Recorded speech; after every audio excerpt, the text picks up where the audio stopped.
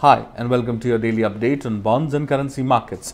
The US jobs report on Friday showed a weaker wage growth that is weighing on the dollar this Monday morning. Now, the greenback has slipped after completing its sixth weekly decline. Mind you, this is the longest stretch of losses since August 2010. The South Korean won is on fire, rising 0.9% against the greenback to the highest level in nearly three months. Investors say the rupee that has completed two weeks of gain is set to open higher and trade with an upward bias. In the sovereign bonds, it's over to RBI Governor Urjit Patel.